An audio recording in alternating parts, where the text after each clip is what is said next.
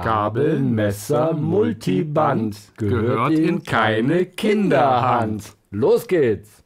Herzlich willkommen zu Music Talk, dem Music- und Sound Production Podcast aus Berlin. Hallo und herzlich willkommen zum Music Talk Special zum Thema Fabfilter. Heute ist wieder Benjamin bei mir im Music Talk Studio. Hallo Benjamin. Ich grüße dich. Du genau. hast Fieses mitgebracht, nämlich einen Multiband-Kompressor, wo wir doch wissen, dass der eine oder andere damit überfordert ist. Wie sieht es denn aus mit dem Plugin vom Fabfilter? Was muss man da tun, damit man da gute Ergebnisse erreichen kann? Genau, generell Multiband-Kompressor ist ja ein Kompressor, der auf verschiedene Frequenzbänder einwirkt. Genau. Also kann man dann sagen, der Bass soll stärker komprimiert werden, die Mitten will ich gar nicht komprimieren oder ähm, und so kann man sich dann, hat es meistens früher im Mastering benutzt. Mhm. Es gibt auch einen anderen Begriff, das ist dynamischer EQ. Das heißt, man äh, hebt einen Bereich an, einen Mittenbereich zum Beispiel, aber wenn zu viel Mitten in dem Material schon sind, wird dann dieses Band wieder abgesenkt. Mhm.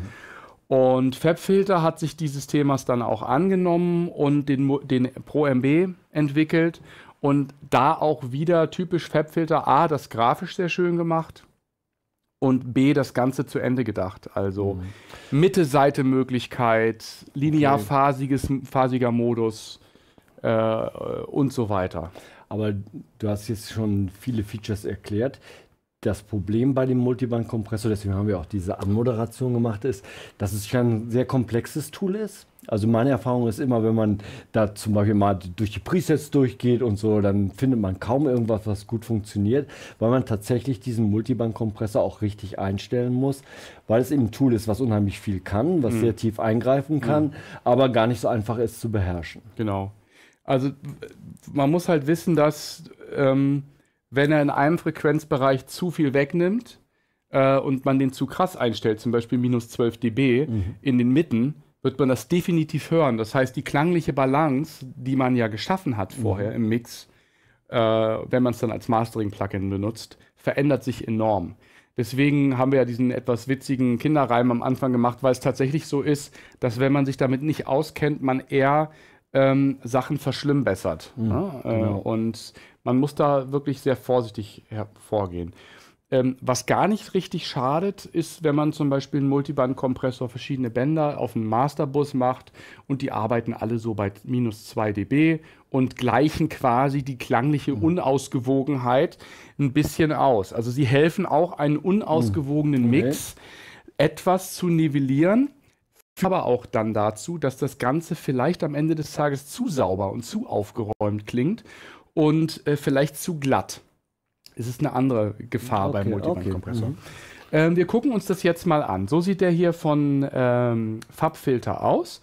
Hier kann man verschiedene Bänder machen, die haben schöne Farben bekommen. Man kann diese Bänder äh, verschieben, man kann einen hinzufügen, einen weiteren. Man kann diese entweder aneinander kleben lassen, die rutschen so aneinander, oder die hier wieder auseinandernehmen. Und dann kann man wirklich nur wenn man zum Beispiel sagt, ich möchte hier wirklich nur einen ganz schmalen Bereich haben, kann man auch das so machen und der andere Bereich wird dann äh, ausgeblendet. Hier sieht man ganz schön, wie dann der Crossover funktioniert zu den Bändern. Der wird dann automatisch eingestellt. Ne? Das liegt natürlich auch an den Einstellungen, die man in jedem Band mhm. vornimmt. Mhm. Wenn man jetzt nur so einen einbandigen ähm, Multiband, dann ist ja kein Multiband-Kompressor ja. mehr, aber man könnte den jetzt auch nutzen, indem man nur ein Band nimmt und zum Beispiel als DSer benutzt. Genau, Ne? Was, ich, was ich ziemlich häufig mache, dann macht man das obere Band und benutzt es dann als DSer. Mhm. Ich zeige euch jetzt mal, ich habe hier so ein, so ein Drum-Loop-Beispiel mitgebracht und habe alle Möglichkeiten, die man mit einem Multiband-Kompressor machen kann, eingebaut. Äh, wir hören mal kurz rein und ich sage dann, was ich, was ich gemacht habe und wie.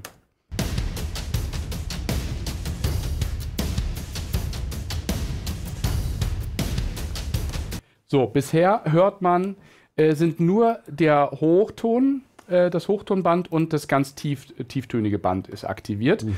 Und zwar in dem Modus, wie man das kennt. Und zwar hier unten gibt es vier verschiedene Modi. Kompressor oder Expander. Und dann liegt es da, äh, gibt es die Möglichkeit eines Downward Compression, also Abwärtskompression. Dann zieht man die Range nach unten. Mhm. Oder Upward Compression. Das ist dann die parallele Kompression. Mhm. Zeige ich gleich alles. Schön, wie das dargestellt wird gleich. Ne? Das Genau, haben sie sehr schön gemacht. Und äh, jetzt guckt noch mal, ich spiele es noch mal ab. Also wir haben jetzt zum Beispiel hier bei beiden einen Kompressor ähm, mit der Range nach unten, also ein Minus-Range. Das heißt, ich habe hier Höhen angehoben, aber wenn es durch den Snare-Schlag zum Beispiel Höhen gibt, werden die abgesenkt. Wir hören noch mal rein.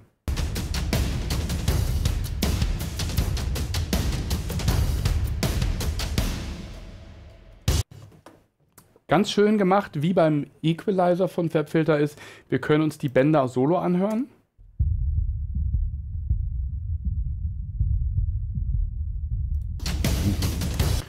Und dann dementsprechend die Einstellung anpassen. Also, erste Funktion, Abwärtskompression. Das ist das, was wir unter Kompression verstehen. Kompression heißt, der Dynamikbereich wird komprimiert, verkleinert. Ja.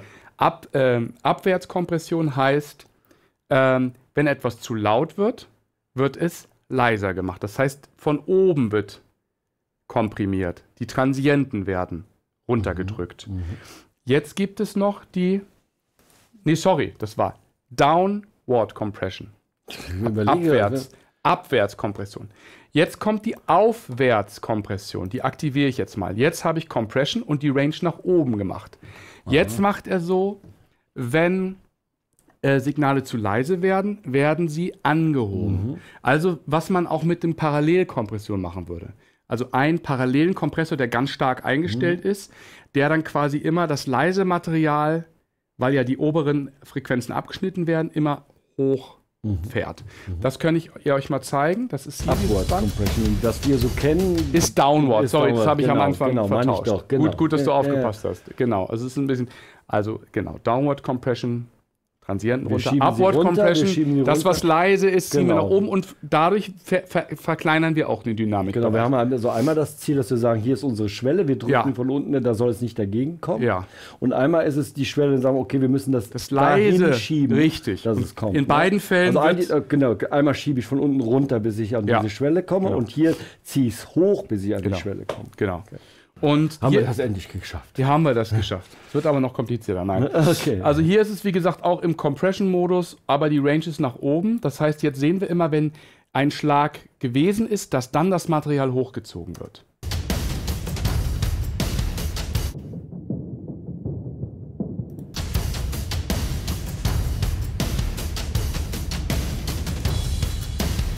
Ne, Also man sieht das im Vergleich zum Lilanen, wo bei Anschlägen äh, komprimiert wird, wird jetzt nach dem Anschlag hochgezogen.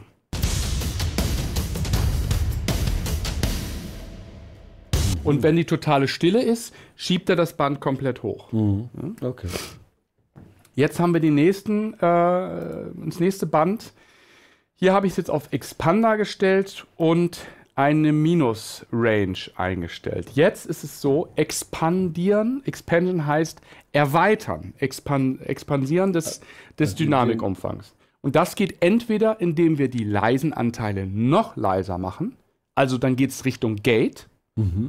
Ne, Es gibt ja bei Gates auch die Möglichkeit, nicht komplett abzuschneiden, sondern nur einfach nur leiser zu Ja, machen. Das ist jetzt sozusagen der, der Downward, die Downward Expansion.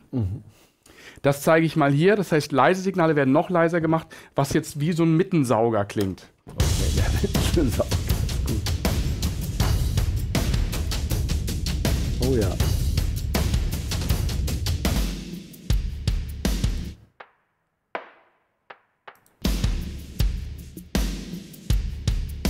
Also es ist jetzt nicht, so würde ich es klanglich nicht gestalten. Das ist aber nur die, um das mal zu zeigen, was das macht.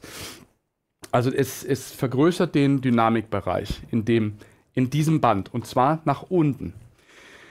Und hier ist eine Funktion, die ich sehr gerne nutze, ist es das Upward Expansion. Das heißt, jetzt wird der Dynamikbereich vergrößert, nicht indem wir die leisen leiser machen, sondern das habe ich schon mal beim Mixing-Tutorial gezeigt, dass wir laute Anteile lauter machen.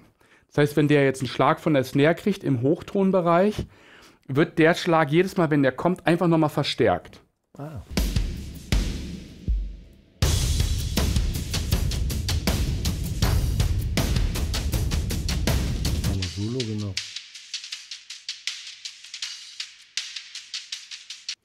Super Tool, um in einem Master, wenn man eine Stereo-File hat und die Kick ist immer zu leise, aber der Bass ist eigentlich genug da. Mhm. Und immer, dann sucht man sich den Frequenzbereich der Kick aus und macht da 4, 5 dB drauf. Immer wenn die Kick kommt und danach senkt er das wieder ab. Mhm. Ah, cool. Und dann hat man, äh, oder eine Snare kommt nicht richtig raus oder irgendein Element. Mhm. Dann kann man das dadurch sehr schön machen. Insgesamt haben wir hier unten drei verschiedene Styles. Linear Phase, Dynamic Phase und Minimum Phase. Linear Phase heißt, er hält die Phase immer linear. Dynamic Phase heißt, ähm, wenn das Band zugreift, ähm, ist es entstehen Phasen, aber wenn es nicht gerade zugreift, ist es linearphasig. Also es ist sozusagen dynamisch angepasst und Minimum Phase. Das ist dann quasi ja so der, der einfachste Modus. Also ähm, standardmäßig ist, ist der in der Dynamic Phase ähm, eingestellt. Hier hat man noch eine Oversampling-Möglichkeit für Mastering-Anwendungen. Und ähm, genau, das Hochtonband hatte ich ja schon erklärt. Mhm. Wenn du den jetzt beim Mixen im einzelnen Kanalzug hast, äh, produziert der viel Latenz? Das, sowas könnte man nicht in Echtzeit nutzen, ne? Das kann man nur im Mixing. Es entsteht, es entsteht eine Latenz. Da müssten wir jetzt das neue Cubase 10 haben. Da gibt es nämlich jetzt eine Anzeige ah. für die einzelnen Latenz. Äh, das ist cool. Äh, ja. Das gab es bisher nur bei Pro Tools. Richtig. Und das gibt es jetzt auch bald. Aha. Das kann, könnte ich dir dann genau sagen. Also alle linearphasigen ähm, hm. Prozesse brauchen, brauchen ganz schön Zeit. Latenz, ne? genau. Ähm, Kommt mit dem Audiobuffer nicht mehr aus. Ganz, äh, äh, also ich benutze den Multiband-Kompressor jetzt, normalerweise macht man es ja im Mastering. Ich benutze den gerne, aber auch auf der Stimme äh, um, wie gesagt, hier so ein paar Unausgewogenheiten auszubügeln. Oder wenn der Stimmenklang gut, wenn er gut aufgenommen ist, dann möchte ich nicht, dass ein Bassbereich immer weg ist, sondern immer nur dann, wenn der zu stark ist. Das lässt die Stimme natürlicher klingen, wärmer, voller und das habe ich jetzt hier bei der Stimme auch gemacht. Stimmt, das ist eine Alternative dazu, einfach zu sagen, radikal ab 80 oder 90, ja, alles weg. Dann ja, ja. sehr schnell, unnatürlich und schlaff die Stimme. Und das habe ich hier auch relativ zahm. Und immer wenn es Zeit wäre zu gehen, verpasst den Moment und bleibe stehen. Ich habe hier eine leichte Höhenanhebung, aber dadurch, dass ich den, den Downward Compression aktiviere, habe ich ja einen kleinen De-Esser im Hochtonband. Mhm. Ne? Und so hat man da die Möglichkeit, äh, eine Stimme etwas ähm, schicker äh, und, und edler und, und weniger äh, processed klingen zu lassen. Was ich aber ganz häufig mache, ist dann in den Gruppen, dass dann meine Gitarren zum Beispiel ähm, hier den Multiband drauf haben. Im Bassbereich werden die jetzt intern getriggert. Mhm. Das heißt, von den Gitarren, wir sehen das mal. Der Kopf Ne? Also dieser dumpfe Bassbereich wird hier. Mhm. So, und jetzt habe ich hier oben Sidechain aktiviert. Ja. Und für diesen Band extern, auf extern gedrückt. Und die Vocals, äh, die sind hier. Und bei den Vocals habe ich dann hier, na, wo ist er? Da. Ähm, Gitarren Sidechain aktiviert. Das heißt, jetzt spielen meine Vocals immer in Dienst das Mittenband der Gitarren rein.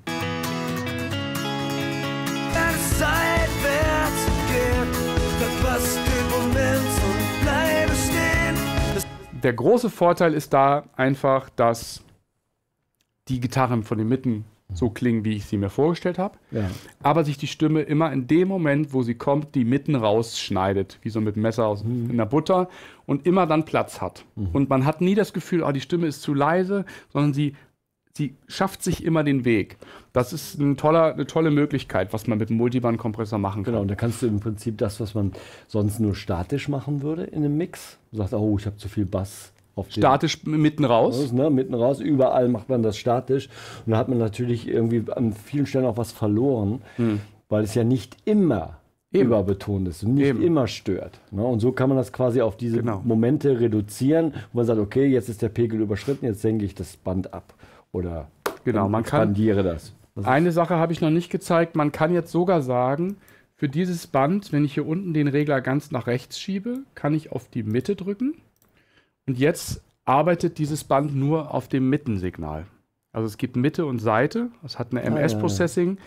Zum Beispiel, äh, im Stem-Mastering, dass man äh, die Kick äh, bei den Gitarren nur die Mitten, also den Bass in der Mitte rausnimmt und nicht, nicht die Seiten und die Effekte, die dann unangetestet sind. Also das hm. ist dann okay. für jedes Band können wir das, wie gesagt, dann einschalten, ob wir das intern triggern wollen, also wirklich von den Gitarren, die jetzt da drauf sind, oder dass die Stimme das macht.